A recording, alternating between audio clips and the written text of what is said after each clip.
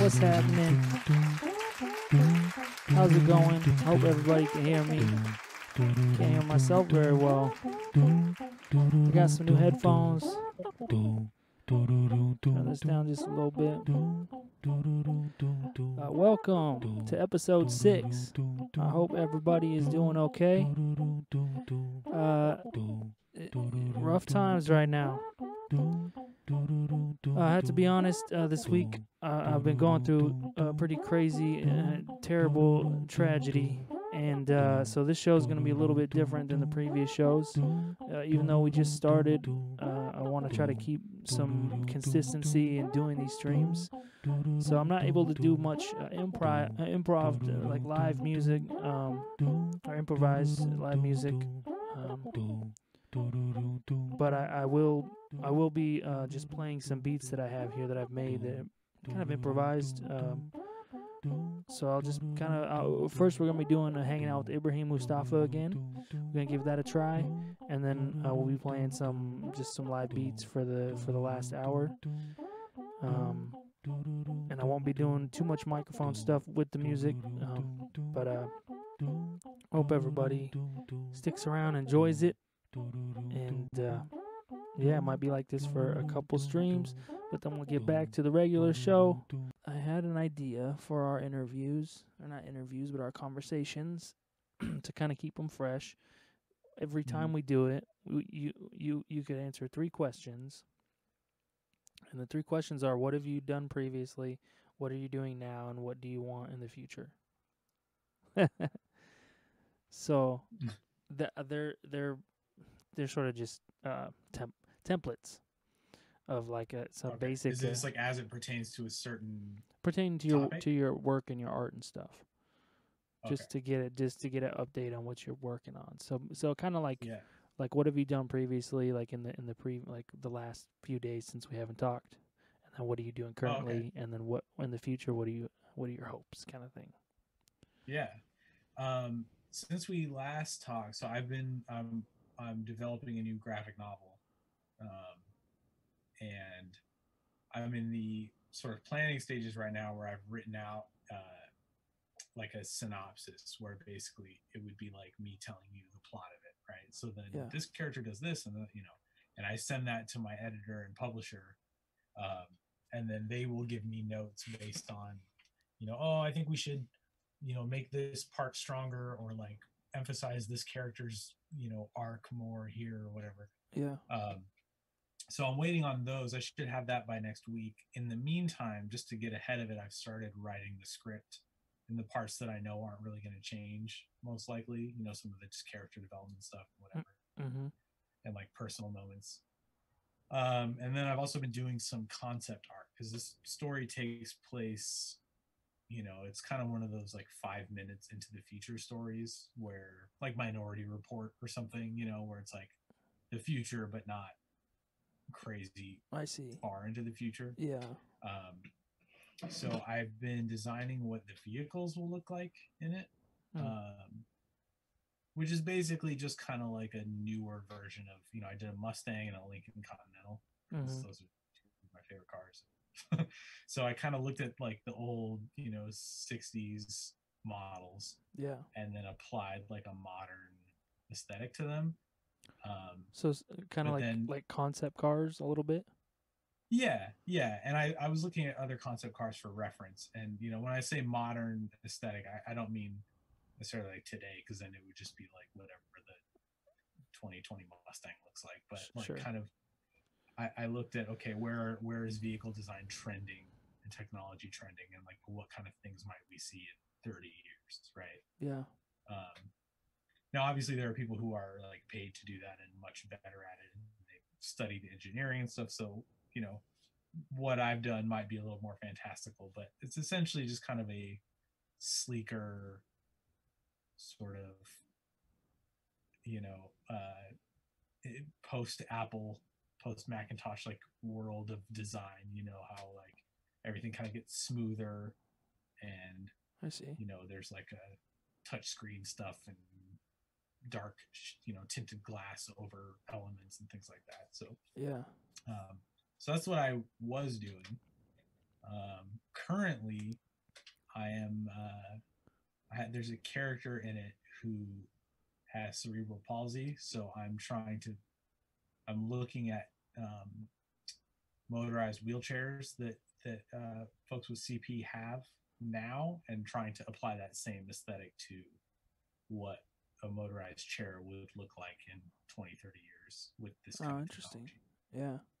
Well, have you have you Um, thought about um, the technology that they have? Uh, Like, have you seen uh, those robotics that they're creating for like legs? Um, they use them for like soldiers to carry heavy packs and stuff. But I've seen them use them for Yeah, they're like an exoskeleton kind Yeah. of thing. yeah, I've seen them use those kind of for, Yeah. for people too.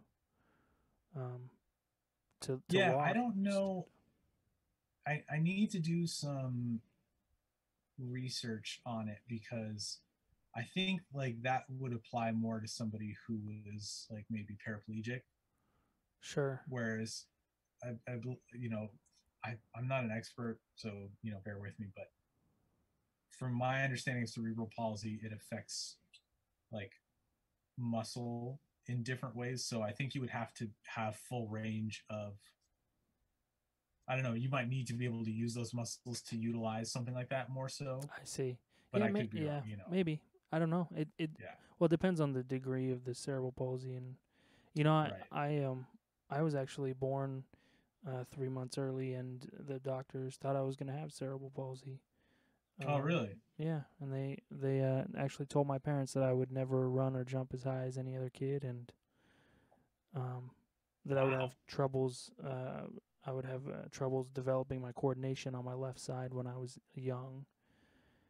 Um, so, so yeah, and I did. I think I did, or at least I was told told that I was gonna have that. So it was in my mind. um, yeah but so yeah, so I always sort of, uh, you know, and when I ask my parents about it, they they tell me that they thought that I was going to have problems um like that and or you know be affected by that and so I always kind of have a connection to that a little bit, you know. Um, that's interesting man i i didn't know you were you said three months premature yeah, three months. I weighed uh, I weighed uh, two pounds. wow that's that's wild too because like a lot of times that stunts people's growth but like you're a tall guy you're like six three right Yeah, I yeah I can't. I want to say that I've read some stuff saying that actually tech like for some reason most pe- premature babies are tall, but I don't I don't know. I I don't know how it. But yeah, it's pretty wild, man. I mean, I it's a story that I was told for a long time. Um, but seeing photos, you know, of just being like a s- really s- just being a teeny small little baby somebody's holding, it's pretty wild. Yeah. Did that did that affect you growing up? Like, were you? Uh, do you do you think you kind of put limitations on yourself in any way because of this expectation you were given? Oh yeah, I mean, I had, it affected my self esteem for sure, and um, it was kind of a story that I always had in my head. So it was, you know, doing sports and different things was difficult, um, because I don't, you know, it didn't it didn't affect me in in a very visible way, and so people just thought I, you know. It, I couldn't say like, "Oh, this is what's going on with me." I guess, or it wasn't very clear. Um, but yeah, it wasn't until actually I got a drum set and I started playing drums and um, was was had I was really good at it and I got a lot of more self confidence and like oh I can you know I'm more coordinated and I can do stuff and um I maybe I don't have a problem.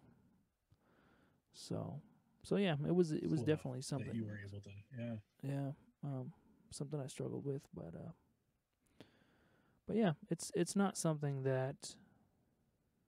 It's part of my story, I guess. It is. I can't minimize it. Yeah. Um, but yeah, Man, I have weird shaped ears or something. These things. I've I've heard that actually. Some people they um, don't fit in some people's ears. But yeah, so that's cool. So you have this you have this character, Yeah. and so you're looking up uh, different styles of uh, uh, wheelchairs and things, and looking at where they're going to progress. Um, Yeah, and so that's kind of what's on my plate at this moment. And then moving forward, there's I still have a bunch of other concept stuff to design. Um, you know, just sort of like future tech stuff that's not too wild, like no flying cars or you know anything like that. But Yeah. um, I basically have to come up with visuals for like a situation room. It's a the story is kind of about like a government agency um, that deals with time travel, like in the future. So Mhm. um, I'm trying to figure out like what will their equipment look like, and you know, it's one of those rooms that's like, oh Jesus Christ, that's Jason Bourne, you know. I see. So, uh, so you're talking about like a situation room. So it's like kind of where they train, or it's like a where they monitor what's going on like with their agents in the field and like you know um, uh, sort of like you know if if their people are on a mission like what what does that look like how are they Oh. monitoring it from I like home base kind of thing yeah, yeah kind of like I mean, not not really, but kind of like NASA watching. yeah Yeah. exactly Yeah, yeah yeah. yeah, Okay, absolutely okay, and so the idea is like they have kind of a holographic like 3d representation of like time you know and they can see like where in time their people are that's you know? awesome. so thanks man yeah it's fun trying to figure it out and you know um it's it's really hard to come up from with that kind of stuff from whole cloth like i'm not Yeah, it's not one of my stronger areas so i'm trying to get better at it so hopefully this will be an excuse to do that well, it's definitely. Um, I think we talked about this. I don't know if on a stream, but it's definitely a. Uh, it's an interesting thing to to do because it's you know, time travel and that kind of technology is like is like um there there's a weird fine line where you don't want to be too magical. You have to be Yeah. you have to be kind of accurate and scientific, um, but like you know, there's a, there's there's a there's a a magical portion of it that needs to be invented that's like exciting, you know. right when you have to give it limitations otherwise you can you might as well just make them be able to teleport because you That's just right. go anywhere and do anything Yeah, yeah, So there have to be some rules to it, and it can't be a MacGuffin where it's just like, oh, well, because of time travel. Yeah. Um, so I spent a lot of time doing that when I was developing the story, and then I see. you know it's kind of a house of cards that you build for yourself. You know, so it's like if Yeah. you get too, you know, uh, caught up in one aspect and you forgot about this other part of it, then you know, if you tug on that thread, the whole thing can unravel. So it's really you got to be careful. Yeah, I would imagine. I mean, I, I, I want I want to say I've, I've read multiple articles about um uh the Avengers movies and just you know different struggles they've had with all these different timelines and Oh, I can't imagine. you know I mean, yeah juggling all that. Yeah. seriously. Uh, speaking of time travel and comic book stuff, it makes me think of that show. Uh, was it ABC or what? eh, Whatever, maybe not. What you know, with like the um the the Green Arrow. Uh, I can't think of. Oh, it's CW. Yeah. yeah, yeah, but it's the group, uh, those group of people, and they. Uh, Legends of Tomorrow. That's right, Yeah. Legends of Tomorrow. Yeah, that's a fun show. I I only watched the first season of it and I enjoyed it. You know, it's like it's a little low budge. Sure, little- all of those, schlocky, but like all of yeah, those are, but, but they're, they're like acceptable. exactly. Yeah. Man, I I the last episode of the first season made me cry. I don't know if you watched it, but I, that shit got me, bro. I was like, damn. I don't remember what And what happened specifically. That, yeah, I guess we can talk about it, right? It's, it's Yeah. like several years old at this point. So yeah. the guy who plays uh, Leonard Snart, Captain Cold, he's like a Flash villain. Oh yeah. Um, and then there's I don't remember the other guy's name. He's the fire guy, right? So they're kind of like the hot and cold dudes. Yeah. They played brothers on uh, um, what was that show? Prison Break, which I was heavily into. I think I think we were Mm. neighbors when I was watching Prison Break. That's right. Yeah. um because I got it on DVD and I was like, I can't stop. It's so good. um, and so you know they were on this show in a sort of like brotherly capacity as well, and uh, one of them ended up sacrificing himself to save everybody, and he was kind of like the villain, you know, or like he was a villain turned into like a sort of anti-hero I remember that. and by now, the yeah. end yeah, he ended up like going out like a G to save everybody, Yeah. and that Mo- shit just hit me. moved you, huh?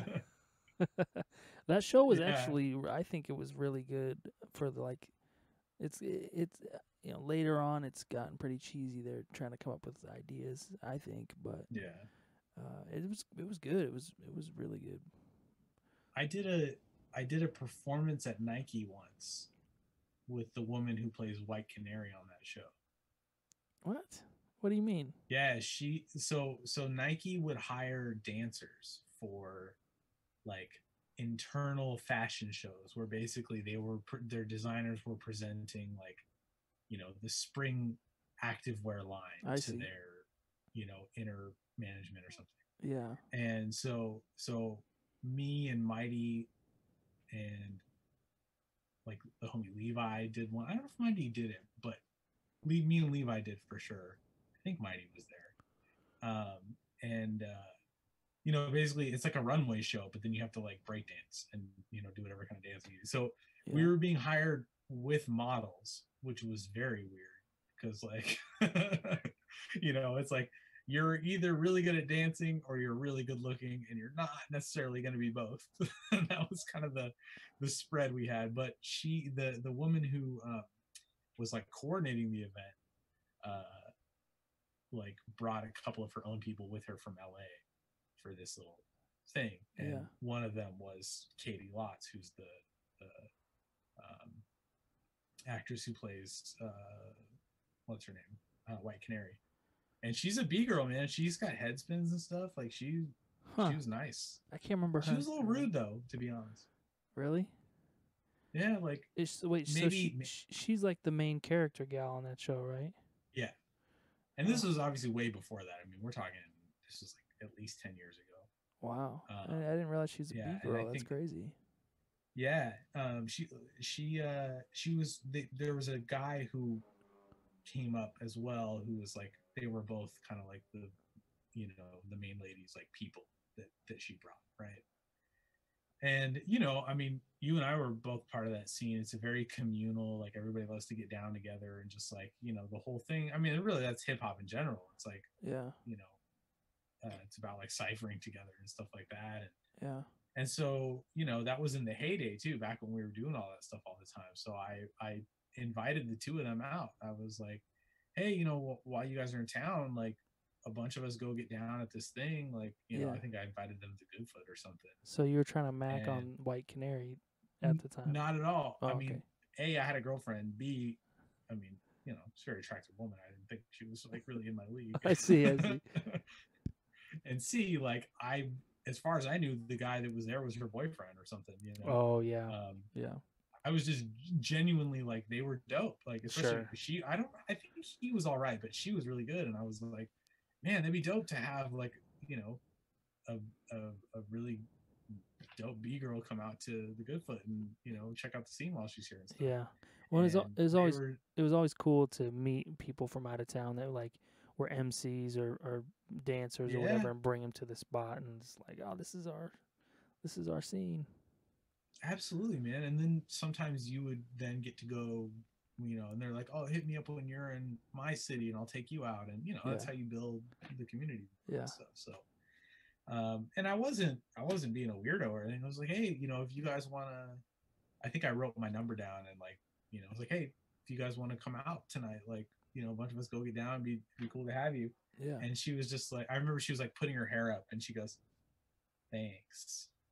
And I was just like, All right, fuck you. Wow. That's interesting. It's it's interesting to, you know, I've only I've met like a handful of famous, like r- pretty really famous people, and it's it's just interesting to see them in person and see their personality and the you know their stature and the way they are in real life. yeah. You know, in comparison to, into especially with with actors or, or, or yeah with actors because they're, you know, they they they're able to you know, like uh, when they're on TV or when they're doing whatever, they have this personality that they portray and this energy, and it's and it's uh it's not real, you know. It's like I remember finding myself um doing like seeing a play or or doing an improv thing and thinking like, man, that person seems like so cool, you know, like I, I that person just seems like the coolest person and then and then meeting them off stage and it's sort of like they're just a completely different they're like a real person. It's not the character and it's Yeah. like, "Oh, oh that's kind of disappointing." Real quick, we got someone in the, in the stream chat here. They said, "No way, it's French Montana." I know. I said, "Never mind, that's not French Montana." And I, know. I, was like, I don't know what this dude looks like, and I looked him up, and that's that's pretty good. I do look like this fool. a little bit, yeah. I think he's Arabic. Is he he's Arab, isn't he? Yeah.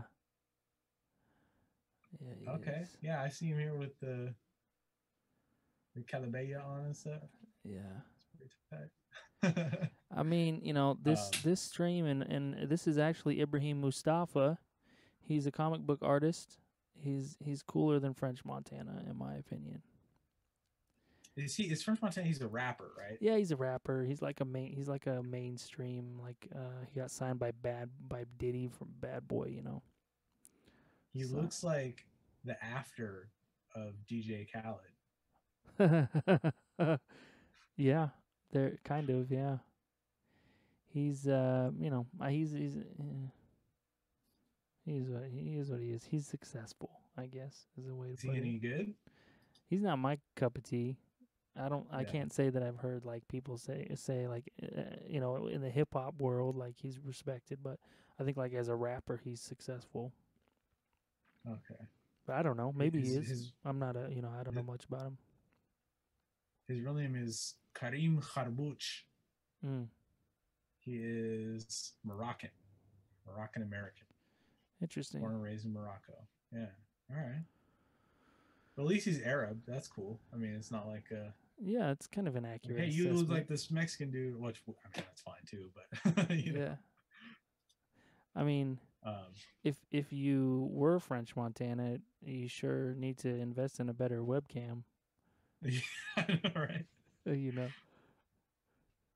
That's what blows me away about these like different things happening with the quarantine is like, you know, Saturday Night Live or whatever. These guys are like using their cell phone. It's like all you got to do is buy a, a camera off of Amazon and a light, and it looks a lot better.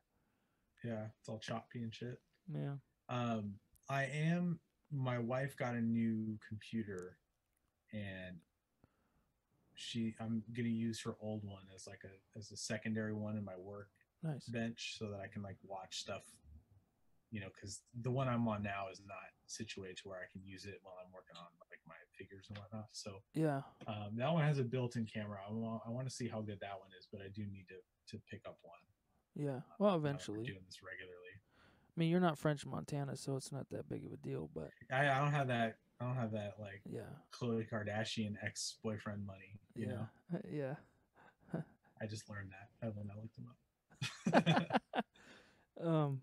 So so what? So you, so you are. Okay, so pre, so you're working on you're working on that now, Yeah. right? That story, and yeah, so that'll be moving forward. That'll be the thing I do for the next. I mean, I think until like the end of March, pretty much. okay, So yeah, next up is writing the script, and then once that is approved, then I'm off to the races, actually drawing it, which is the most enjoyable part for me. So so what? Yeah. So how is it getting? Uh, man, I would imagine it depends on the the people that are giving you notes on your stuff. Mhm. Um, but what, so how is it getting notes and, and how you know, how is your experience with that? Like just responding to the notes or yeah, um, I've I've personally gotten much better at it. yeah, uh, it's it can be a very difficult thing when when you spend a lot of time on a thing and somebody tells you to change it sure, or you know alter it. Um, I've never been super precious about my work in that way, thankfully, like because that that can really hold you back. Some people will just argue tooth and nail over a note, and it's like it's not that big deal, you know. yeah, Um, I'll I'll certainly stand my ground on things that I feel passionately about, you know, if I have a good reason for it. But honestly, most of the time, the notes that I get are things that I either should have noticed or things that, you know, just make it better, frankly. Like, especially, I mean, my publisher uh, is uh, a guy named Mark Waid, who is one of the most accomplished comic book writers in the history of the medium. I mean, Mm. he he's written stuff that um, you know has influenced the movies. Um, you know, you saw Man of Steel, right? Yeah. The- so remember, you know, and he says like it's not an S, it's a symbol for hope. Like that, this guy Mark Waid wrote that into a Superman book, and that's what they pulled that from for the movie Wow. and there are you know a, a couple dozen examples like that um, and Yeah. probably all of you know the adventure stuff too um, so if he's got a note i'm taking it like straight up Uh, yeah. because it's always going to make it better that's um, that's actually and- seems cool to get notes from him. oh it's incredible i mean i was about to say like frankly it's like a privilege to, Yeah. to you know um, and every note of his that i get and then utilize makes things just you know that much better so Yeah. um so yeah the kind of notes will generally be stuff like oh you know i don't think that this is paying off strong enough or like we, i think we need to set this up more so that this payoff uh you know hits harder later or you know um we should check back in with the bad guy we need another beat here where we see what they're up to or that kind of thing Mm. um, so then it's my job to go in and say, okay, how do I, you know, fit that into this, you know, puzzle that's already kind of been slapped together. so, hmm um, but yeah, it's a fun challenge, I think. And, uh, you know, at the end of the day, I have to make it all fit into a certain number of pages. Um, so that's when I get to kind of go in and say, okay, what can I trim? You know, what if I, what did I get too long winded on, etc. hmm And how do you so? Do you have a method to that, or it's just kind of, just kind of go through? I just kind of, yeah, I just kind of go through it and, and, you know, I'll have their notes open in one, you know, document or email or whatever. And then um, I'll, I'll have the script or the story synopsis in front of me. And then I'll find, you know, the spot that they said to alter. And then I'll go in there and, you know, make those changes based on, you know, a lot of times it's, it's a suggestion um, they're not saying add this, this, and this. They're saying, can we develop this more? And then I have to figure out, okay, well, how do I develop that more? Like, what does that look like? Mhm. So it sounds like they're kind of just reflecting some s- things back to you, like that they're that Yeah, they're I mean, from the story. Yeah, sometimes they're just asking you a question, and the act of answering that question ends up being how you address the note. You know, like Hmm. they might say, you know, okay, if the character does this, then how do they do that? And I've either established it, but they didn't pick up on it, which means I need to make it more clear because there's a reason they didn't pick up on it. Yeah. Or I go, oh shit, I didn't even think about that, and then I have to go in and Huh. figure out how to make it, you know, connect. Yeah. Interesting. So um, so uh so I'm curious instead I guess instead of talking about wh- what you want to do, see in the future, I I was thinking about like uh for, is, for people that are interested in doing art and drawing and different things uh, or maybe you know doing exactly what you do and illustrating you know comics and writing stuff and working with companies I- I guess you know when you were a kid and you were I, I would assume interested in drawing Mhm. um how did you see that like as a possibility you know As like a career and yeah just like what kind of not like your whole life story i guess but just like uh, how did you sort of as a kid uh, interested in drawing and and and, and uh, move kind of move forward and say like oh this is this is a thing that i want to learn and know, where did you kind of find the inspiration for that and how did you do that yeah, I mean, from a very early age, I just had this kind of urge to, if I liked a thing, I just felt like I had to draw it. Like I remember watching the X Men cartoon when I was like six or 7 mm-hmm. and seeing Wolverine for the first time and just being like, I have to put that on paper. You know, I don't really know what it was about it, and I always did that with you know Superman, Batman, and Ninja Turtles and stuff like that. wow um yeah it was just kind of like it was a sort of an urge to do something with this thing that was like intangibly in my head after i saw it on tv or something or in a comic you know i see um and yeah, I think you know for a lot of kids, like most kids start out drawing, you know, because Yeah. it's just like a very basic sort of motor skill thing that kids do. And I think the difference between those who uh, take it further and those who don't is that you just keep doing it, you know, Mhm. stay interested in it. Because every kid is about as good as every other kid up to a certain age. And then, you know, if you stick with it, then you get better. And if not, then that's where you plateau Yeah. um, and then yeah I, I never really knew how it could be a career option honestly i mean for a long time i told myself well, i'm going to be an art teacher because i had teachers that i liked and i liked art and i thought that's a way to do art and have a steady job Mm. uh, Well, you know so that's that was that's something that I mean a lot of you know actors and and comedians and stuff is you know that's what they'll Yeah. do in between jobs even. Yeah for So- sure. it's, I think it's definitely Um, a you know it's a, it's a noble thing yeah. teach people. Yeah i mean to want to share that thing and i've you know i've had some great uh instructors like you know at the community college level yeah. in in like painting and stuff like that that you know i i was inspired by in the sense of they were really good at articulating these sort of intangible qualities about art like you know the way that paint like watercolors pool you know when they're watered down a certain way or you know just being able to talk about the effect of the pigment in the water and how it mixes and when you do this with your brush and stuff i found to be like really interesting and i was like i would like to learn how to convey that information as well. So um, i started on that path and that was my whole thing i was going to be an art teacher and uh, i started to get kind of disillusioned by it when i found out how much education you actually had to have like typically you need a master's to teach yeah. you know? Yeah. Um, at least at the kind of teaching I was thinking of doing. Now I could teach probably because they hire people all the time at like community college who don't have masters because they're like a professional in a field, you Mhm. know.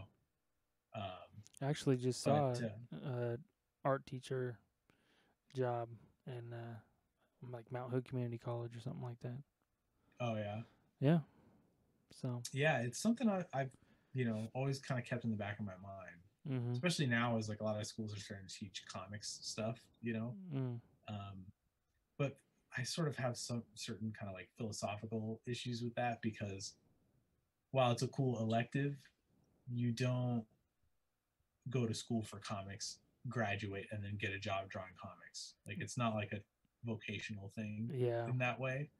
You know, I mean, there are there are a couple of schools that have programs, um, and there's one school specifically that is entirely for comic book art, and it was founded by this sort of uh, like legendary comic book artist, and his his family ran it for a long time, and they just sold it recently. But you know, their sole purpose is like you go there, you learn to draw comics, and then that really is the only truly kind of like school to professional work pipeline in the industry. mm-hmm. Um, but other than that, it's just kind of about being tenacious and doing your own work and self-publishing, or you know, meeting a collaborator, getting your book out there, and then eventually you get hired.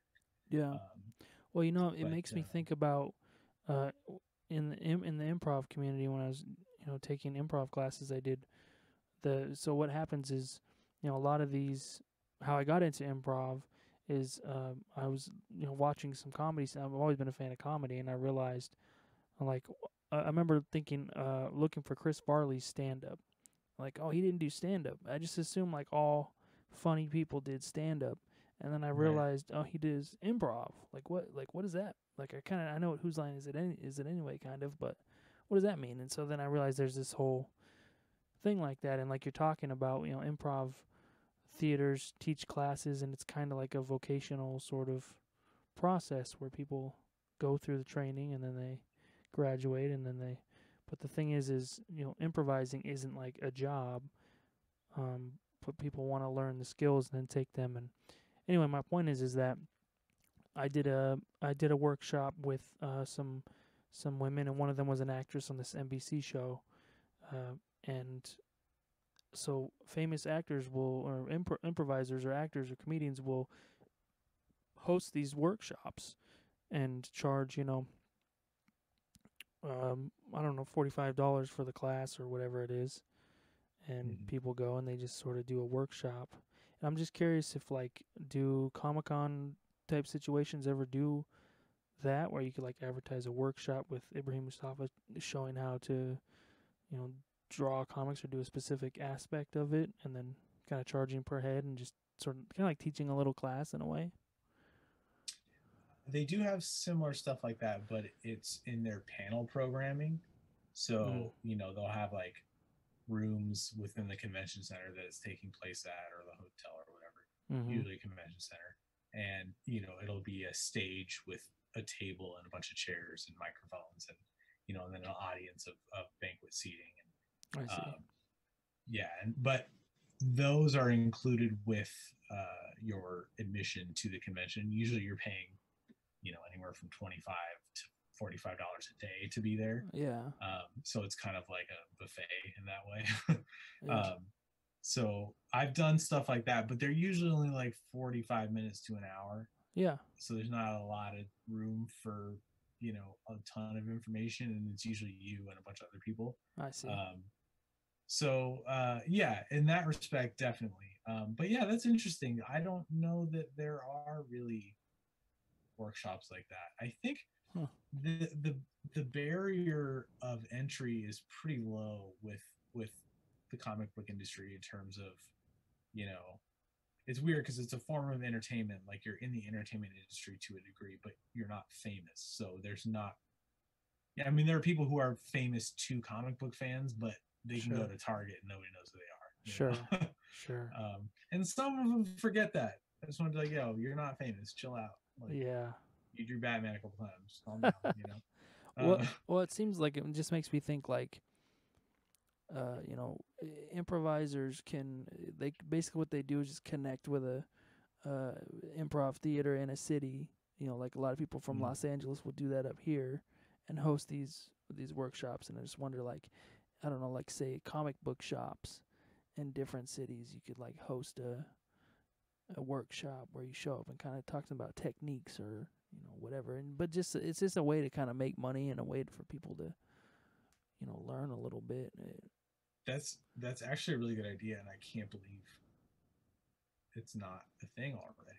I'm sitting here as you're Yeah. talking about it, trying to think of like what are the what would be the barriers to that, and the only thing I can really think of is that you know people will do signings at comic book shops and Yeah. say say when they have a book come out, you know they might go hit like a bunch of different cities, like you know a little West Coast tour type of thing. Sometimes they'll drive, sometimes they'll fly, whatever. Yeah. but usually it's on your own dime and usually you're not getting paid to be there. You know sometimes a, a store will will fly out like big name talent to do a signing at their store yeah uh, yeah. because they know that they'll kind of make it back in sales you know with the people coming to the door to buy the product and stuff like that. I see. Um but yeah i you know and i mean there is a certain amount where i think it's assumed that you know because it's not a big barrier of entry like yeah i'll sign you know you don't have to pay me to talk kind of stuff. Yeah. But i think what you're talking about is like a legitimate like professional work workshop scenario in which case i could totally see you know you could probably even go like pitch it to comic stores and say like hey you know i'm going to be in town for x amount of money you know i could teach a class at your shop and then you could charge admission. Yeah. And then you keep what you make at the door and i get my fee kind of thing you know? Yeah. Well and the cool thing about that is you can book them ahead of time. So it's like say you just want to make some money if you have a manager or or just yourself or whoever you know have them call around to different comic book shops within the nearest states and be like yo hey we want to do this. I charge this much. And they just can book it ahead of time if they have the setup and yeah you know so i don't know it's just an idea i'm not trying to tell you what to do but it's a it, No, no, it's a really cool idea though. Honestly, I've never considered it, so I'm gonna have to put some thought on that and see. Because if you can get a couple of friends together who are industry professionals and kind of bill it that way, then yeah you know it's kind of you can combine like a signing with the workshop, and then you know hopefully that's a way maybe for the shops to make some money as well, which is yeah the big goal of the industry and the community. So Yeah. I mean, you could do, you know, like the way that they'll do it with the improv is they'll do the workshops during the day, and then like that night they'll have a performance. So you could kind of Right. do that same thing and just do like a signing at night or something. Or if you're doing a release, say you have something that released recently, you could do like a thing for that that night and but do a workshop during the day or something. I don't know. Cuz I just think Yeah. like cuz you know, my family are all artists and I I used to draw when I was a kid and I you know, I'm not interested in necessarily becoming a professional artist, but I would totally pay for a workshop just to like learn some techniques and see how you know people do that and Yeah. you know Well, that's one of the cool things too about the sort of democratization of all sort of entertainment mediums at this stage in our sort of evolution in technology and whatnot is like, you know, um, print on demand stuff means that anyone can make a comic and then submit the files to a printer and then order 50 of them, you know, and sell them at a convention. or whatever. That's how I got started mm, um, and then you know the fact that everyone's got a pretty decent quality camera in their pocket you know you can make sketches and and things like that or even i mean people have made entire films on iphones before you know mhm. So yeah um yeah it's interesting how we're kind of at that point now Yeah, yeah, it's cool. I mean, it, you know, I, I there's just so many different. Uh, there's an interesting thing that's happening. I've noticed with the generation before us, who are what are Generation X. uh, You know, Mhm. they they had a lot less people in their generation. Uh, technically, so like, um, so basically, like I I I, I can speak from like uh, listening to um comedians talk on podcasts and them talk about like how there wasn't a lot of competition when they were like coming up when they were young because there just wasn't a lot of comedians. But like now with our generation there's way more people in that generation and so there's just a ton of comics. It's just a completely different Yeah. thing. Um but you know so it's interesting to see the things that they've developed you know like for instance the um the workshop thing or you know different ways of kind of making money in entertainment and and and then that sort of being combined with what's going on with the internet and technology Yeah, and you know, you bring up an interesting point because I I think another thing about our generation is that we value entertainment more than generations before us. Maybe not as much, maybe not necessarily like exponentially more than than like Gen X does, but you know, the reason that it's always like, oh, millennials are buying, you know, avocado toast or whatever is because the the only things that haven't uh, increased exponentially in terms of cost yeah. are things like dining out and and you know movies and TV and stuff like that, right? yeah So while houses have, you know, quadrupled or more in cost, right? yeah I mean, it used to be you could just graduate from high school, get a job, you know, doing just about anything, and you could, you know, support like a family and a mortgage.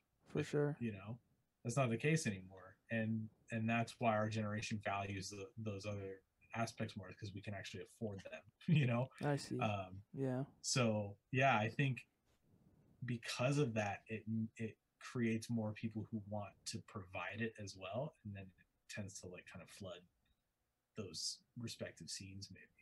That makes sense that's interesting yeah. It seems like there's just a lot there's just a lot more of it too you know with the more people being in our generation you know there's just a lot. Yeah, it's uh and you know we are kind of a. I mean, look at Twitter. You know, the whole point of Twitter for most people is to be funny, right? Get those hot takes out and stuff like that. So yeah everyone kind of fancies themselves a comedian anyway. You know, even if they're just taking sort of a joke formula yeah well you Like, know one that feeling when you blah blah blah you know Yeah, yeah. Well, it's kind of like eh, the one thing that tripped me out more recently is that when I realized that memes were are technically a form of comedy. They're like their own form of comedy. yeah You know, like I there's this girl that I went to high school with, and she's a I, I saw her on Facebook or Instagram or something, and I didn't really know her, but uh, she like makes memes. Uh, she uses a, she sets up a camera and makes memes with her own image, uh, so she can you know sell them or you, you know make money off them or whatever. So she'll like pose and you know put the meme like your boyfriend, you know whatever the quirky little thing is or you know jokes Yeah. and stuff. Um, and she has a whole thing of just you know thousands of memes. Uh, and she also does stand up, but but it just tripped me out. I was like, oh wow, I never realized like I didn't know that was it's a thing. it's yeah. just its own just memes in itself is just like its own form of comedy you know it's like um the the comedian fat uh, the guy or whatever fat jew i think that's what he goes by I just learned about that guy recently. yeah i may have even Yeah. told you about him but yeah might he, have, yeah. he um that was his thing like he was just post he just post like tons of memes and got really popular he got trouble he got trouble because he didn't Wasn't, actually it, wasn't he create like the stealing them or something? Well, he so what he did was he just he was just posting a bunch of memes on Instagram, and you know, obviously he'd put his little comment at the bottom of it, like acting like it, he made it kind of, you know, just like a joke that went along with the meme. Um, Right.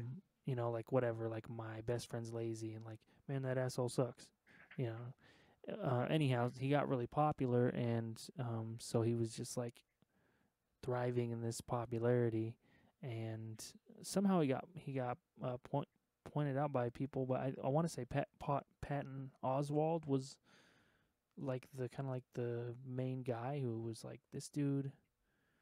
Oh, he got some deal. I think he ended up getting uh, some some sort of deal with a network for a show or a writing deal, and it turns out that he he, he never really did anything. He did, you know, I guess. Like he he he wasn't really a writer. He wasn't really a comedian. He just like posted these memes that weren't even his. So people were really reaming him, and Pat Oswalt was like on top of it. So anyway, I don't know, just a weird. It's kind of like, uh, a, do you ever look at TikTok? Yeah. So they'll take. Or I don't, but I I see TikTok videos a lot. Oh, I like see. On other, yeah. So what they'll do is, you know, they they can take sounds. So they, I don't know if you know how it works with they.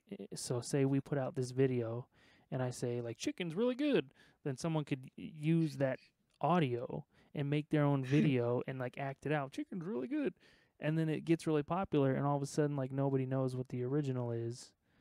They- Yeah. you know Yeah. and so they'll do that with like the office jokes or uh reno 911 stuff and it, it becomes its own thing sort of like stealing you know jokes It's almost, it's like they're sampling jokes.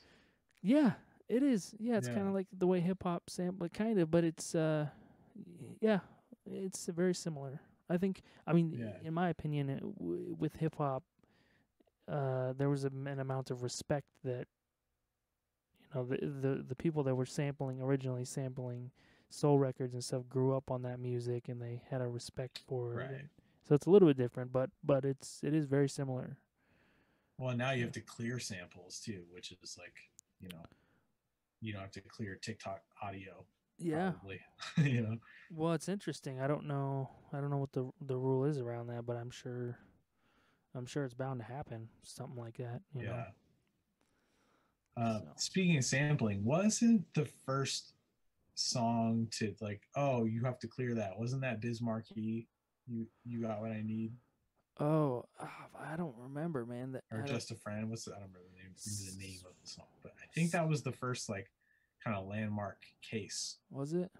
I, w- I want to say it was Yeah. De La Soul's, a De La Soul's album or something, but I uh, I can't remember. I w- I watched a Netflix movie recently. I was very excited for it because it was based on one of my favorite graphic novels.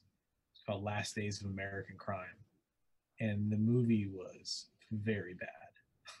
The guy who played the villain in it was amazing. Every scene he was in was fantastic, Yeah. but the everything around it was not good. Uh, but uh, he, the villain, comes out at one point and sings that song because his girl is two timing him with the main character, like she's kind of playing them against each other, Yeah. and so he's singing that you know you you say he's just a friend part and stuff. Uh. Uh, but they, and this is what made me go like, oh yeah, I think that was the first landmark case or whatever because they apparently didn't clear singing that in the movie. So he's mouthing the words, and it starts off as that song, but then they like dub in him saying something else so that they don't get in trouble. So it was like his mouth was moving and it was different. It was it's like you made me dessert or something. Yeah, it was it was like it was kind of like adjacent to what the actual lyrics are. You oh, know? I see. Yeah. Sometimes Yeah. they'll just throw in random words when they do that. Like Yeah. Really bad dub. or like the, when the uh, in uh, the Big Lebowski, uh, what's his name? Uh, uh, fucking John Goodman has a line where he's like, "This is what happens when you fuck a stranger in the ass," right? yeah. But on the TV version, it says, "This is what happens when you find a stranger in the Alps," because like that's kind of what like matched the mouth, you know? Yeah. Well, that's the Coen brothers, so they probably put some work into that. I imagine yeah.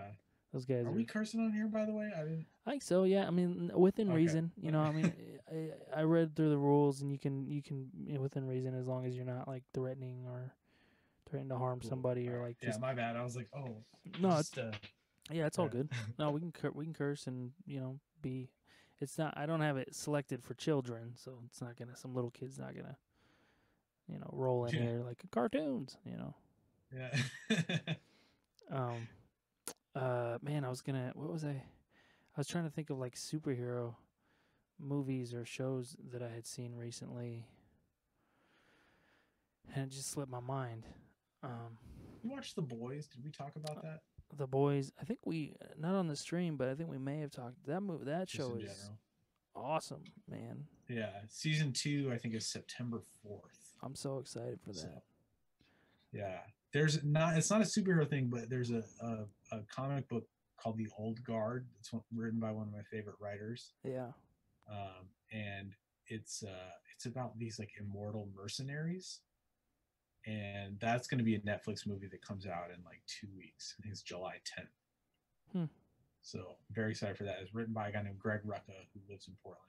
He actually also wrote the book Stumptown, that is what that show is based on. Oh, Um, yeah, my one of my best friends does the the art for that, so I'm that's uh, cool. very stoked for him. Yeah, Have you have you um, seen that sh- that show? Uh, well, so there's two there's there's two shows on Netflix. They're from from the same writer. One of them is called I want to say it's like the end of the fucking world or something like that. Oh yeah, And, yeah. and, and it's about a I haven't seen it, but I know the one. Yeah, and then there's another show, and I can't remember the name of it, but it's by the same guy, same style, uh, but it's it's about it's kind of like a superhero thing. It's about this girl that like Yes. uh, deve- Uh, what's it called? Something like I can't. bel- Some. Uh, It's something in a, with a similar like. Did that just happen? Or yeah, like- yeah, yeah. yeah. That show, I don't know if you've seen that, but that was I thought that was pretty cool. I like this. yeah, we we watched it. It was good. Yeah, it's the comic is based on is very like, sort of, rudimentary in in its art style. yeah, I Like, did. it's almost more like up. a comic strip. I was I was surprised to see that because the content of the show is, you know, It's almost pretty heavy. it's almost like a movie the way that they do those. Yeah, you yeah. know?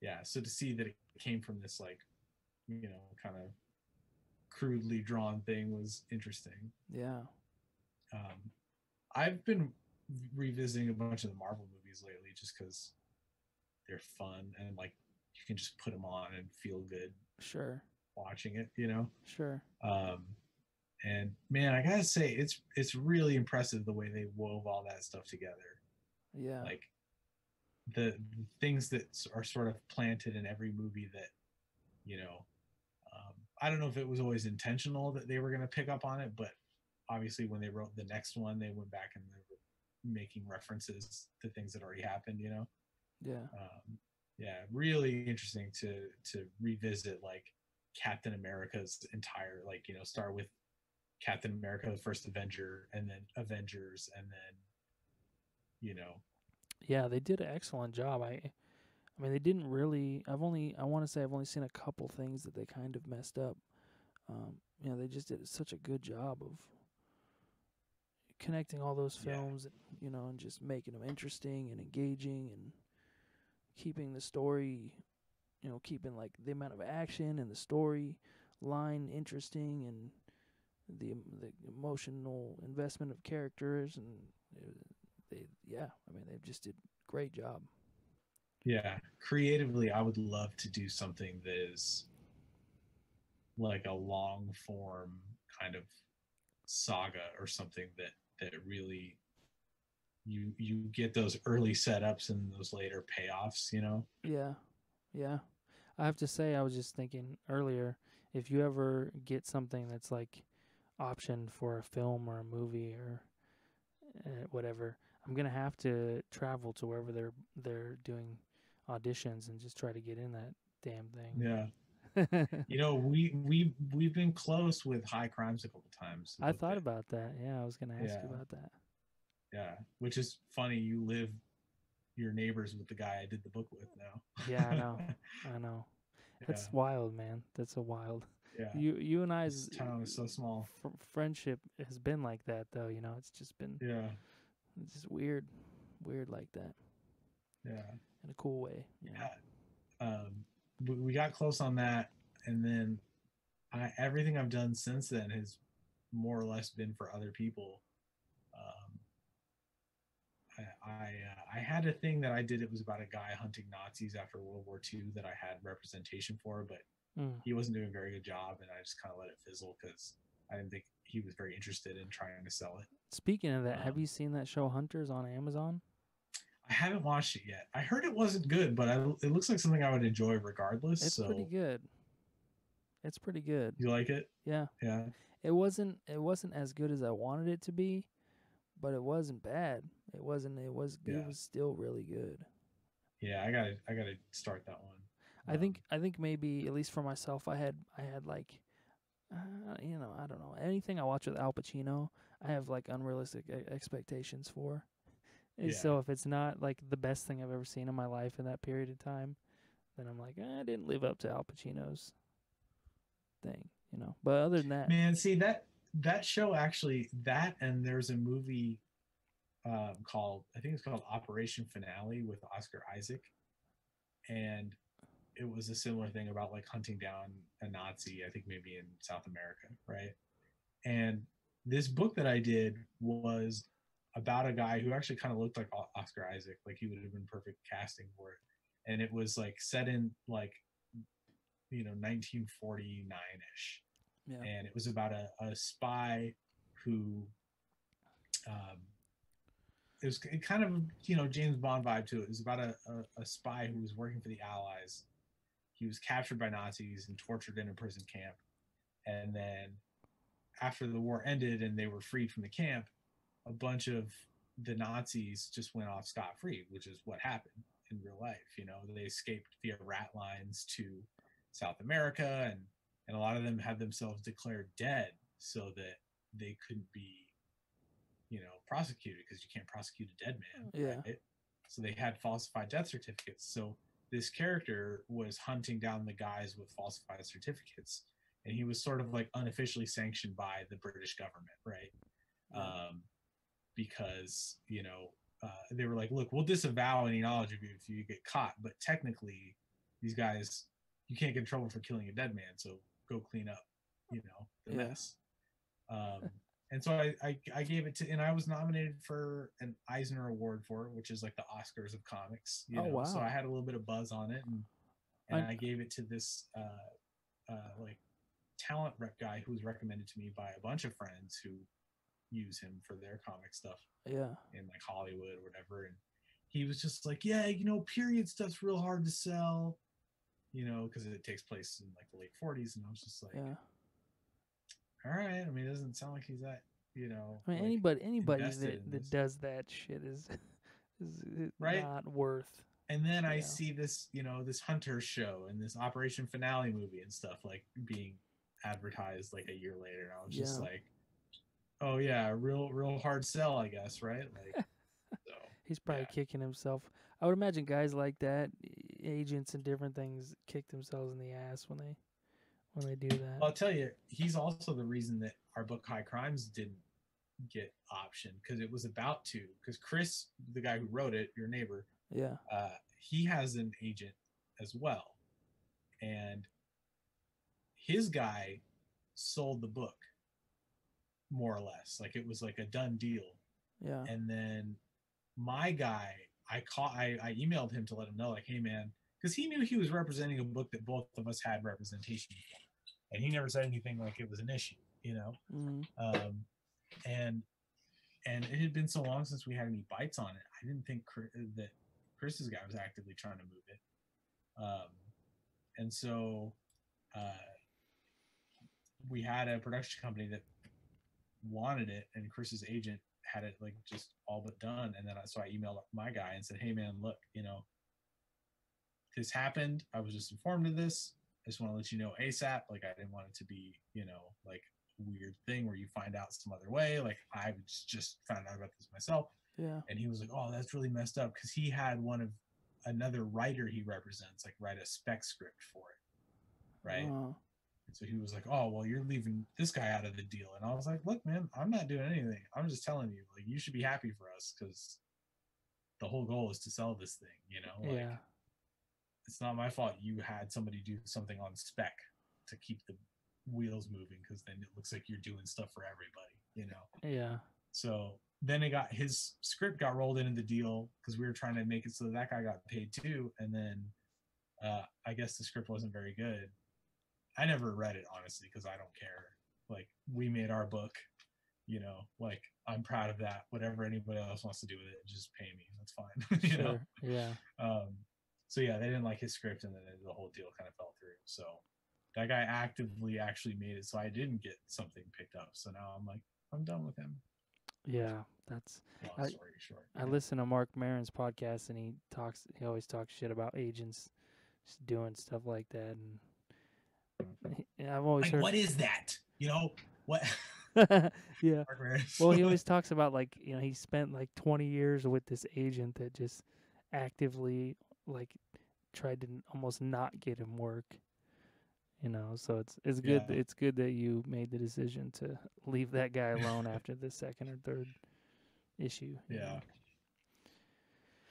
Yeah. So hopefully, you know, now that I'm with, because that one was was a much more of an independent venture. That that Nazi book. Now I have a publisher that is like they have their own, you know, uh, they've had stuff made into movies before, and they have a, a vested interest in it financially. So um, Nice. hopefully they'll make it happen, and then I'll just get to sit back and let them do the work. So we'll yeah. see. Yeah.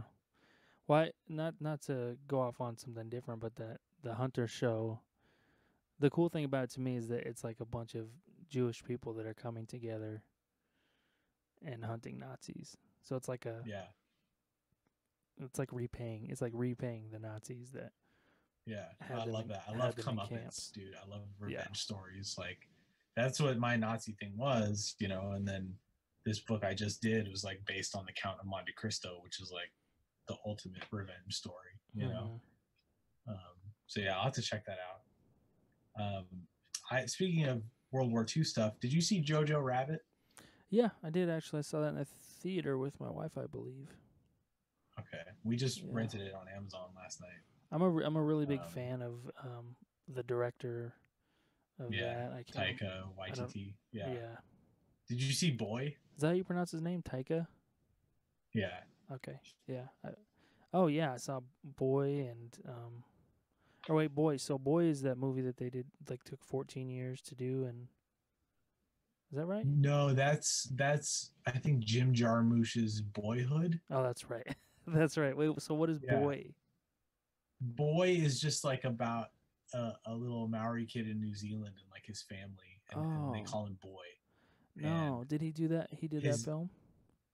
Oh yeah, you'll love it, dude. They're always talking. It takes place. I think it takes place in the '80s, and they're always talking about. I'm just like Michael Jackson, like in their little New Zealand accents, and like, uh, the director wrote it also, and he plays the dad, and he's just kind of like, um, That guy is in and out so of the kid's talented. life. What's that? That guy is so talented. Yeah, he's amazing. That movie's really good. He he's had a, so he did that one. He did the Hunt for the Wilder People. Did you see that? Uh, no. I didn't see Oh that. man, you gotta watch that movie. Hunt for the Wilderpeople. I saw. It's so good. so I. Oh, we got someone else here. See if they're. Dude, you got oh headphones. I had them on my list. Yeah, well, that's my friend Jacob. He's he's produced some music for me. Nice. Um, these faces he just. Yeah, he likes to put his his little his late his record label is called Face Records. So Oh, okay. That's Um, tight. Yeah, man. Uh, well, so uh, like uh, you know, obviously I heard about him through the Thor movie and his and Yeah. his voicing of the character on there, and then I was watching uh the show uh what we do in the shadow shadows I think is what Mhm. it's called Yeah. and I, w- I could not believe how funny that show was. I was like, oh my god! And so then I looked. Well, you know that was based on a movie. yeah, yeah, yeah. right? So then I did research Okay. and I saw the movie, and then I started researching that director, and then we saw Jojo Rabbit, and yeah, I got to see more of his stuff because he's yeah. hilarious. Boy and Hunt for the Wilderpeople are great, and they're Jojo Rabbit was really good, but it was also like heavier and pretty sad. You know, Yeah, his other stuff is is much more like eh, you know it still gets sad and heavy in parts, but it's much more like uplifting yeah. uh, and like just kind of fun. You know. Well, jo- Jojo Um, Rabbit was a little bit. So the thing that I read about it is, you know, it's based on a story, a book or something like that that was written by this guy, and and um, how do you pronounce his name again? T- Taika Waititi. I Taika. So Yeah. Taika a- adapted the story, and what he Okay. the thing about it is the story is a very serious story. So he just sort of made up that that imaginary Hitler character and injected Mhm. it into the story to add some humor. So it it was a little bit weird to me because I felt like he didn't go full. He should have went full one way or the other. You know, it's like should have went full on like let's make this kind of a comedy or let's make this a more serious film with funny parts you know I don't know. Yeah, I don't. I mean, because it was pretty funny, and I don't know if you could.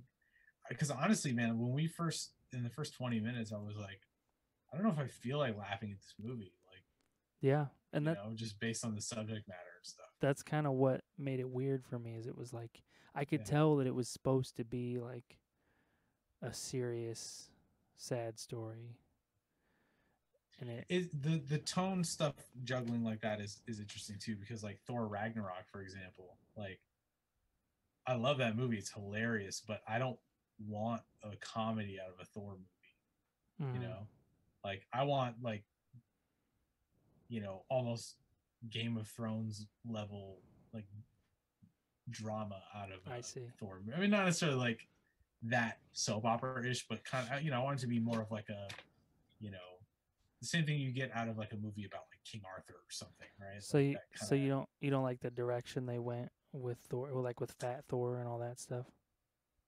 no well that yeah that, but i mean just like the third thor movie i thought was like too funny. Like i like the see. tone of the first and second ones better But, you know, like- like they had jokes peppered in but you know that they're you know, you know- that they're sort of you know they're they're banking on that now because they made him fat Thor in the Avengers, and which you know that kind of i don't know how i felt about that either because like the guy experienced like the genocide of his people and like his entire family's dead. Yeah, you know and to just like kind of make a joke that like he's fat and sad now was kind of like all right you know yeah. It seems like But- they they they're really. It seems like they did that because of the s- the strength they saw that that actor has. he's really good at like comedic stuff Yeah, yeah. yeah uh, so but yeah i just you know having read thor comics that are like these epic runs of you know the character and the politics around it and stuff yeah, i guess i just wanted more of that like the first movie was was much more the right kind of tone especially all the asgard stuff sure, I agree. yeah, the right tone for me the second one was really dark. I felt. yeah it was yeah it was uh it was definitely like more of a bummer for sure but again it's the kind of more of that like shakespearean like drama with this guy who can fly and you know has the hammer and all that stuff Yeah, yeah but uh, no that that that writer director is great though you will love boy and hunt for the Wilder Well, you know he's doing the new Star Trek. Is that right? Star Trek. He got option to do that. he's doing something Star, Star- related. I Star don't know if it was Wars, a Star? Wars thing. Yeah, Star or- Wars maybe some one of those Star Wars you- or Star Trek. Did you see the Mandalorian on Disney Plus? No, I I haven't watched any of the new Star Wars stuff. That's one thing I I always I like the classics, but it, I never got into it into that too much. I'm I'm really not a Star Wars guy either, man. Yeah, I you know because I do comics and stuff, it's like kind of assumed that I would be, but sure. it just doesn't really do it for me. I didn't grow up with it, and I think that's it. Like I don't have that nostalgia factor, so coming to it later, I was just like, "Is this what everybody's all Yeah, into?" Like the, the sword fights are cool, you know. yeah. It's it's like uh, well, you know, he was in uh um, the writer uh, George uh, George Lucas. Mhm. he was you know he, he was inspired by westerns so it's sort of like if you liked if you know westerns are only a certain type of people like westerns so i kind of feel like Well, it's, it's, it's funny because it was like westerns and samurai stuff that he was inspired by, which are kind of westerns are inspired by samurai movies largely. Yeah. Anyway, I think was kind of the lineage of those. I want to say like Seven Sam or like like Magnificent Seven was basically the Seven Samurai just remade, right? i see Um, and so uh, yeah, like just just another example of white people stealing yeah. a culture Oh, but the reason I brought that up, so Mandalorian is very much in that vein of like Western bounty hunter kind of stuff. yeah i saw saw and- parts of it it looks good Yeah, it was good. I mean, all the episodes were pretty predictable. Like I, and I'm not one of those people who's like, "Oh, it's predictable. Like I, I like being surprised. I often am, but I each one of these episodes like felt fairly formulaic, like something I had seen before, but just looking different this time. You know, because of the Star Wars setting. yeah Um, so that was a fun experience. But Taika did like a he played one of the droids in in that show oh uh, in like the last episode or two. So it's you know it's kind of cool to see him in that too. But, yeah So it might have been a Star Wars thing that he's doing. I, that's probably that what it is yeah i don't think anybody does any star trek stuff i don't think those have really been successful to be honest Did you did you see the last one they did? I don't think so. I was never. That's one thing I was never into Star Trek. Me neither, man. I like those Yeah. movies, especially the last one, because the last one didn't feel like hampered by a bunch of continuity that I needed to know about. It was just like a fun adventure. Yeah. But the reason I didn't, yeah, your boy Face Record said I couldn't do the new Star Wars. I tried multiple times and couldn't do it. I haven't even seen the last one.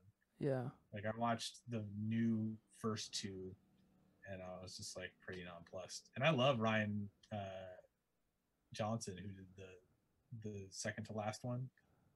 Um, but uh, yeah, the last Star Trek was dope, and what was crazy.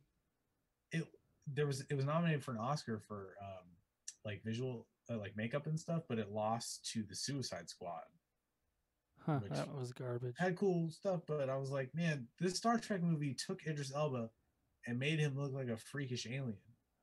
Like, give them an Oscar. Like, he's the handsomest man in the world. Like, Yeah. he's just like, you know, Yeah. Um. Yeah, that's funny. God, I, my my brain is just not working well right now.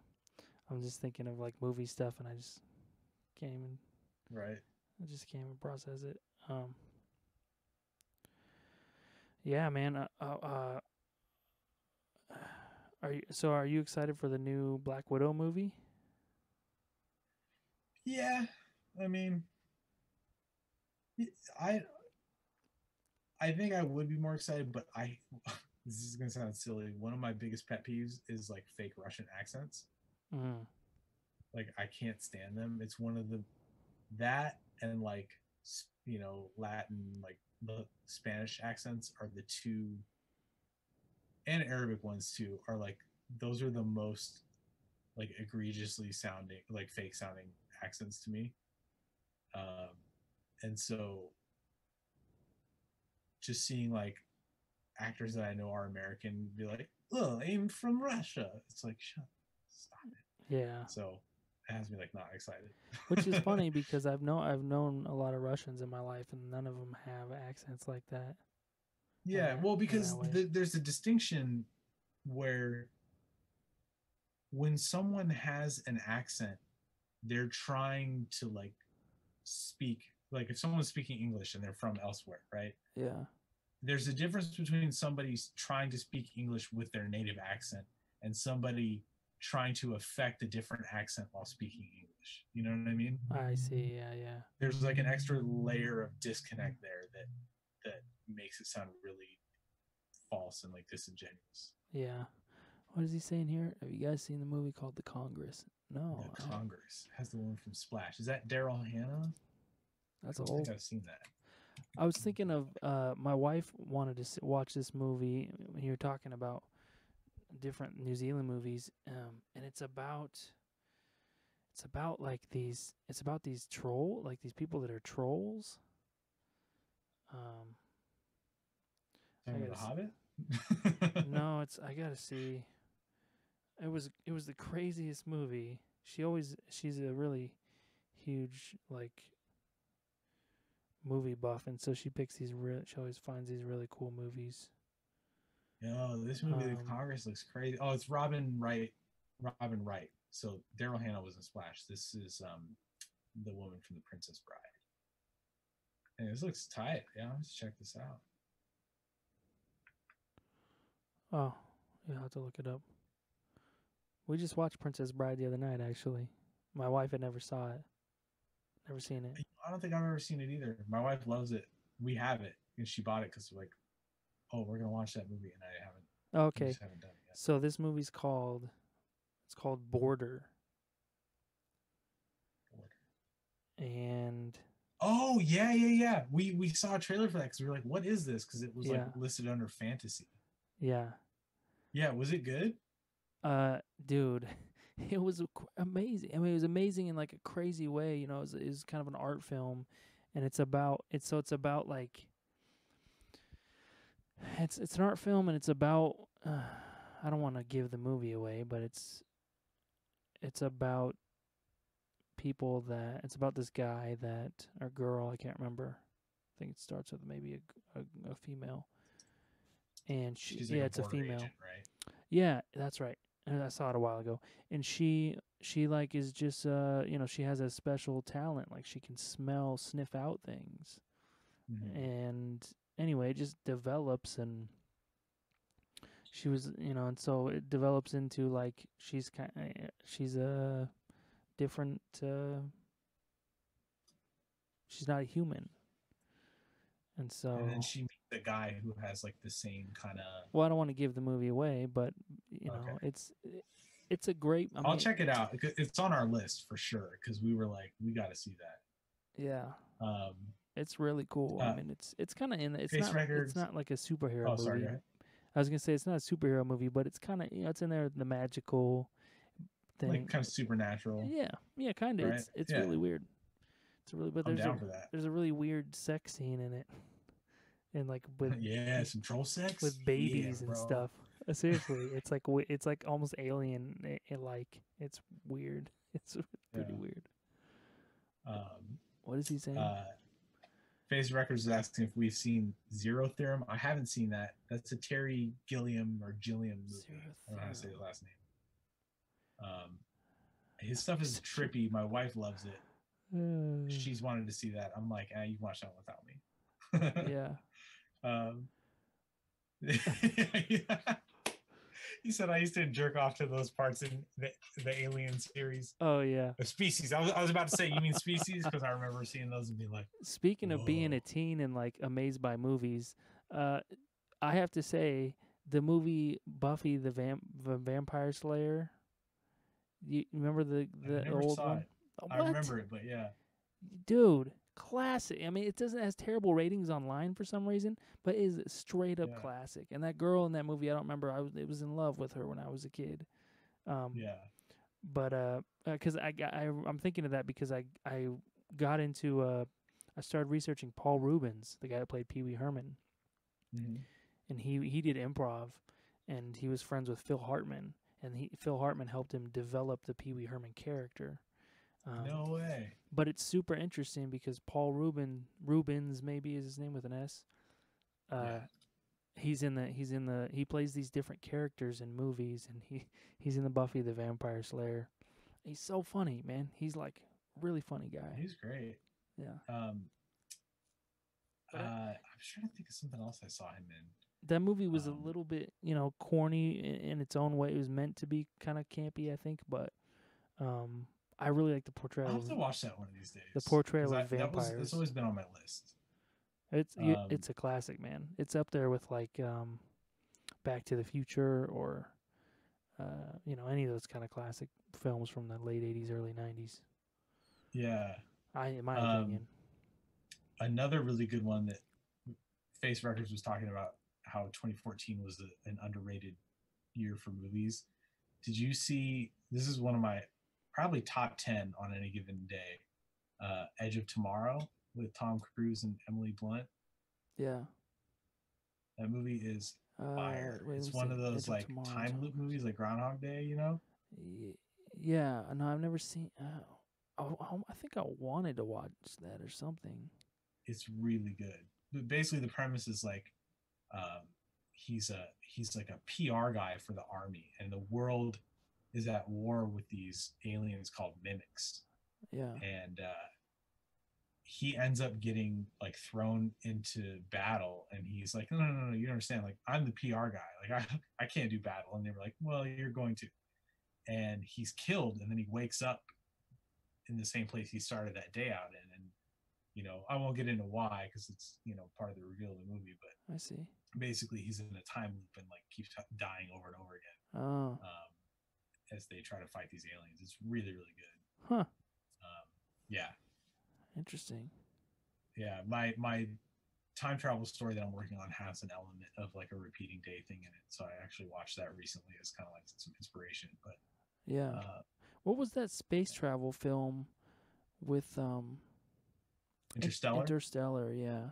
yeah, I thought that that film, in my opinion, that film was like the most interesting sort of like time travel, weird alternate universe thing I've ever seen. it was really good. I saw it in the theater, and I don't. That's not the type of movie that I should see in a theater, um, because like it's really like long and drawn out, and a lot of it takes place on a spaceship, and I hate. That's why I never got into Star Trek, is because I felt like every time I was flipping the channel, it would just be them sitting on a ship, and I was just like, this looks fucking boring. Yeah. Well, especially do something. the way know? that they did it with like not a lot of music and like tried to portray Yeah. space. I love I loved that. I thought it was the most amazing way to portray space, but Yeah, I was just like a. You're talking about Interstellar, right? Yeah, yeah. kind of like a silent void a lot of the time. yeah, it was Yeah. crazy. It was like I don't know. I felt like it was I was really experiencing space watching that movie. It's like, oh my god, scary. Yeah. We we were just talking about Jim Jarmusch. What what is his newest vampire movie? I don't know if I'm familiar with that. Oh no, I never saw Um, Double. What I wanted, I was thought about seeing that. Only Lovers Left Alive. I had my wife saw that. I haven't seen that. That's one. You know, we've been doing a vampire movie kick recently. We just watched all the Underworld movies, Huh. and uh, that, and then we did Blade, and I have to put I'm that one in stoked for my Blade notes. too because that's my favorite. But Only lovers Um, left alive. Yeah, man, that Blade film, uh, that that film has a lot to live up to. I mean, the actor's awesome, so yeah, you know. but I mean, Blade is kind of a perfect movie in a lot of ways. I don't know yeah, you know, it'll be interesting to see them tie it into the Marvel universe. You know, yeah. Well, did you see that they're bringing back? uh They're potentially bringing back uh the Green Lantern with Ryan Reynolds for DC. I just heard that tonight. Yeah, they're doing all this like stunt stuff where they're like, "Oh, Michael Keaton's coming back as Batman in this alternate future, you know, Flash thing and stuff." Oh yeah, yeah. They're doing a uh, new a new Blade. Face Records is asking if they're doing a new Blade Yeah. with no. Yeah, they're doing. Mahershala Ali is playing Blade though, which I mean, that's as good as Yeah. casting gets. If you're not having, I mean, honestly, they should Yeah. just bring Wesley Snipes back. But yeah, Well, it's kind of hard because Blade doesn't age, so you can't. Yeah. You'd have But to. I mean, Snipes looks pretty good for his, you know. Well, they'd have to figure. I think it would be cool if they did some kind of like. uh Oh no, Logan. Blade does age. Blade ages just like a normal person. That Oh, was does he? that was actually Okay. a, yeah a line in the first movie because I just watched it the other day. It would be cool if they did some sort of old man Logan type thing with with Blade Yeah. with Wesley yes. Snipes. I I think. When Yep. they when they ca- announced the casting, my boy Dennis goes, "Some Mahershala is always trying to ice skate uphill." that guy's an amazing actor, though. I mean, yeah. he uh what he was in uh Moonlight. Is that right? Moonlight, yeah. Um, Yeah. He won an Oscar for that, and then won an Oscar, I think, the next year for Green Book, which I haven't seen. Yeah, there's that movie has a lot of controversy, but every every film that I've Yeah. seen that guy in, everything I've seen him in, he just blows me away. I can even like in it's Did you see I was, I was True gonna- Detective season three? oh yeah, dude. Oh, it's yeah, incredible in that. that whole show is crazy. But yeah, that was he's just a, he's an amazing. Even just an interview, like I watched an interview with him a while back, and it was like, dang, this guy is just awesome. Like he's He was in that show Ramy that I've been watching. That's like about an Egyptian dude. Um, mm-hmm. because he's Muslim, that that actor uh, Mahershala Ali. So he played like this, what's called a sheikh, which is kind of like a like a spiritual leader in the mosques. yeah, Um, so he's kind of like mentoring the main character of the show. So that was cool to see him on that because yeah, you know this man's winning Oscars. He can do whatever he wants, but he you know like did this Hulu show. yeah. I just um, I just saw cool. the preview for that, and I was like, oh, I gotta watch that. That looks good. It's really good, man. And honestly, dude, it's it's kind of changed my life in some ways. Um, you know, I mean, you know, they say representation is so important, and I agree. You know, but Yeah, and and as like a straight cis American man, like a lot of shit is for me. You know what I mean? Like I'm not underrepresented sure, in a lot of ways sure. but I've never seen anything that like really reflected me as like you know an Egyptian like especially being raised in you know this country like I thought so many things that had happened to me were just like a unique singular experience right? Yeah, and to to see that stuff like put on screen in a way that's like so authentic and also funny just like i mean it was it was like transcendent for me. Like i was just like oh my god i'm you know? Yeah, um and i honestly man it gave me closure on a lot of stuff that i you know was holding on to from when i was a kid that happened or that i was that was said to me or that i was taught you know that that had lasting implications. Like mm, even just little shit from growing up that i never knew why that happened or why i was told that. Mhm. and to see that it's just kind of commonplace that's just how egyptian parents are or something you know it's just like damn. Like it hit me pretty hard. That's and amazing. I had my wife watch it, like to be like, "This is what, this is what I'm talking about. That's why I do these things," you know. Yeah. Well, and you, and you, if I'm from our last talk, you grew up pretty isolated from you know it was like only kind of only you basically with your father, so you didn't have a lot of peers around to connect with, right? yeah, Yeah. yeah, and you know, I have three sisters, and like, I saw how I was treated differently than them, you know. Yeah. And, uh, that that's a you know the main character on the show has a sister, and that's a big part of of the show too. Is like how they treat him versus her, and Yeah. you know and that i mean that has lasting impacts into like relationships of mine you know because uh i've sure. i mean one of the reasons i started going to therapy you know all those years ago is that i guess it's been like four or five now uh no actually almost six but anyway um you know i came from a household that was like very patriarchal and my wife did as well and i did not want us to slip into those roles where i just become like the you know i'm wearing the pants and she just follows the whims of my moods and shit because that's how my dad was Yeah. and that's how her dad was Oh.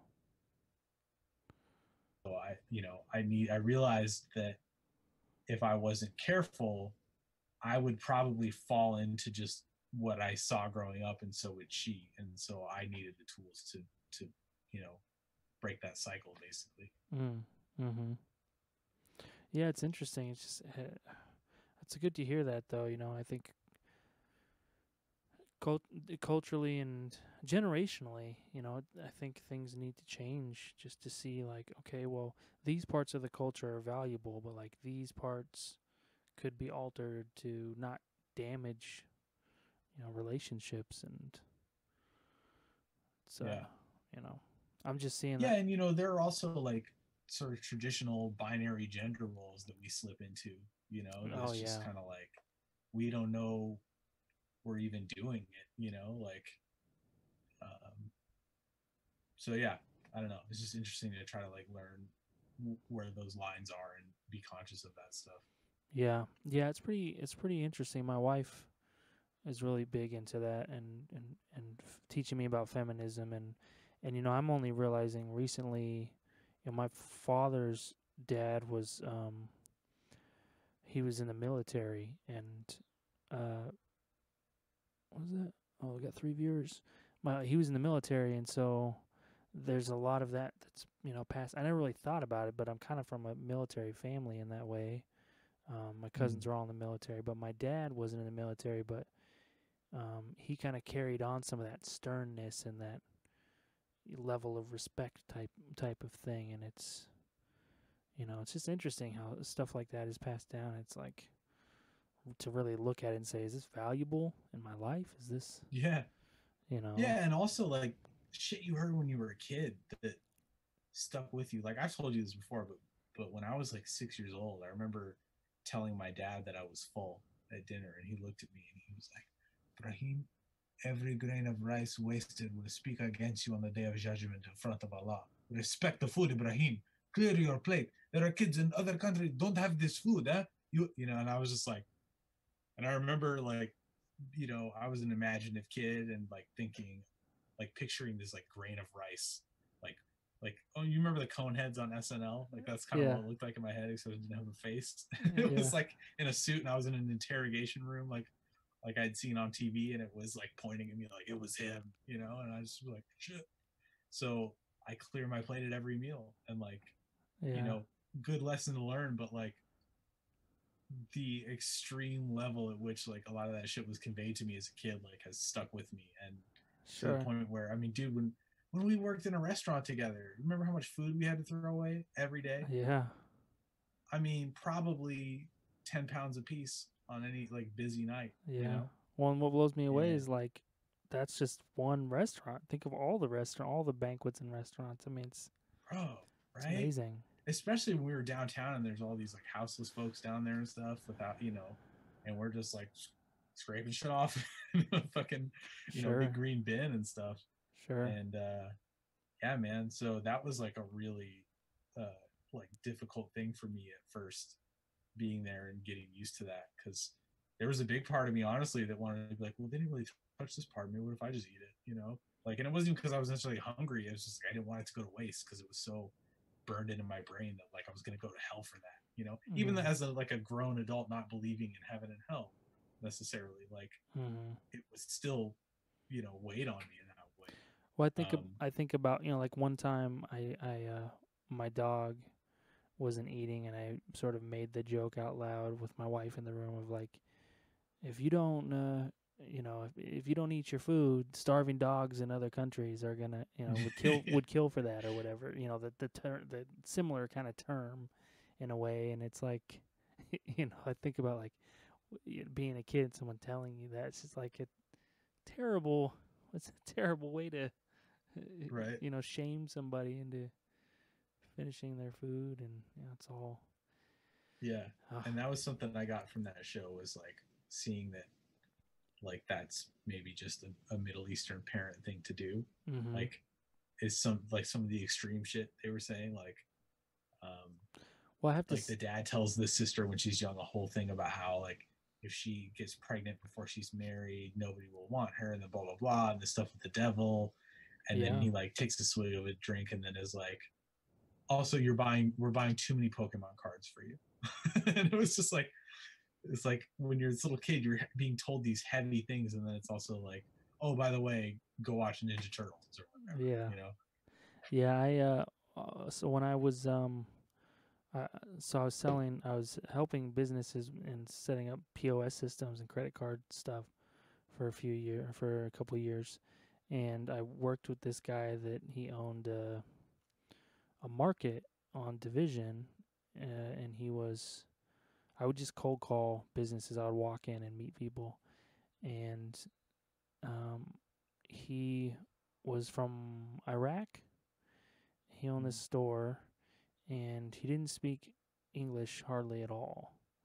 Um, and he was he was struggling with just he so basically he was he was in the army he worked he was in the he joined the American army in Iraq and got into this sort of they have this system where can he can uh, basically become an American citizen if he served served or whatever is what he told me anyways uh, long story short I got to know him and I worked with him. I set up his store. I met a bunch of his friends from, you know, different countries, Afghanistan, and uh, guys that own gas stations and own all these businesses. And and I was like the only American that they knew. You know, they just they were all fresh from their countries, and um, and I had never really, you know, I had known people f- from Middle Eastern countries and things, but I had never been around families and and different all different people different types of people and so he was talking to me a lot about you know everything we did was like so serious and you know it all had to do with um you know god and you know uh, you know any any type of d- i was helping him like pay his bills and stuff and going to the bank with it. wasn't my job but i was just helping him because he couldn't communicate well um Yeah.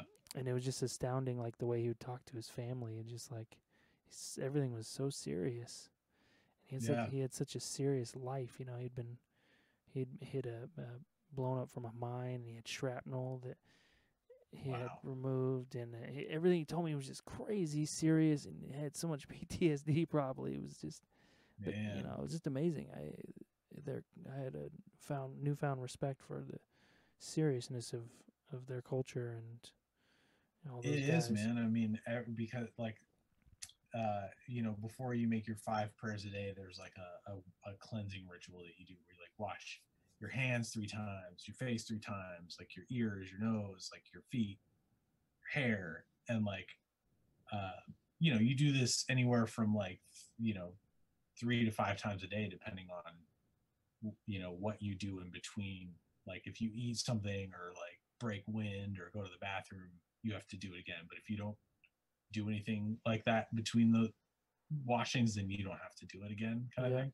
yeah So, you know, uh, in the in the very first episode of that show, like, uh, the guy's in a hurry, so he's like just doing like a sloppy, quick, lazy version of it. And there's a there's an older guy in the mosque who sees him, and he's like, no, and he like sits him down, and he pulls his sock off, and he's like, you have to wash between your toes, like he's telling him in Arabic, like he's like, you have to go to God clean. And if you don't go to him clean, the devil can get in. The devil is between your toes, Ramy. Like, and like that's the kind of shit you just get told, or like, Yeah, it's it's um, almost like borderline. Like it makes uh, it's a little bit crazy thinking, especially for little kids. yeah, It's like yeah. And it makes you like, I mean, dude, I was always washing my hands as a kid.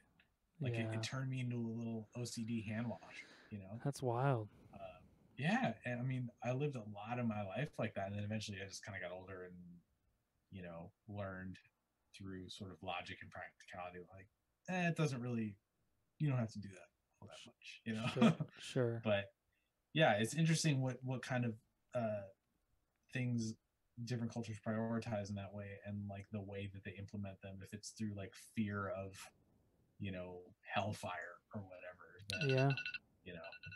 So yeah, interesting. eleven o'clock. Yeah, that was my give give the dog her pill timer going Oh. off there. Yeah, man, we went double time this this week, which is nice. yeah, it's good, man. can't yeah. really make any music. But on a quick note, speaking of what we were speaking about, have you seen that show Master of None? Yes. Oh, Uh, amazing. show. so yeah, you'll like Ramy. It's very similar to Master of None. Oh, Like, okay.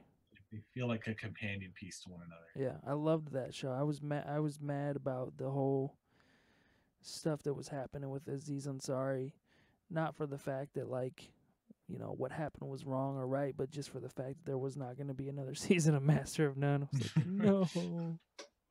Why? Why? Yeah, I heard that he addressed some of that stuff in his like most recent.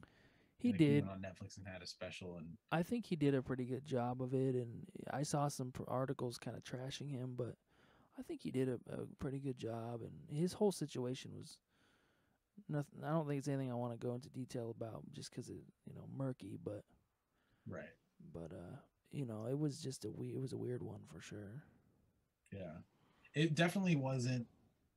A lot of these things are pretty, and and we're dealing with a lot of this stuff coming out in the comics community right now, which has been a really heavy week. I heard about that. It's yeah. definitely, yeah. I mean, some some instances are very cut and dry, and then you know, his sounded more like it was maybe a hind, not a I don't say a hindsight thing. You know, like I said, it's murky. I don't want to get into it. You know, obviously, believe women, and like if you know someone's saying like, "Hey, this happened to me," that was her experience is valid. You know. Yeah. Um, but uh, yeah. did Face Records? Did you you saying you watched Ramy or um, Master of None? He said it was Greta. It was a, typo, and then he just turned it into a Yeah. question. yeah, Greta I- or I- Thun- Thunberg. Yeah, Oh, the Netflix special. Okay, yeah, I got to check that out. I, I'm, I'm, yeah, the Netflix special. um, the the uh, Aziz Ansari one. Oh yeah, yeah, Master or um, Ramy's on Hulu, and so I didn't watch it for a long time because we didn't have Hulu, and then uh, we ended up getting it with the Mm. quarantine stuff going on, so I was able to watch it. Mm-hmm. yeah, it's great, great show.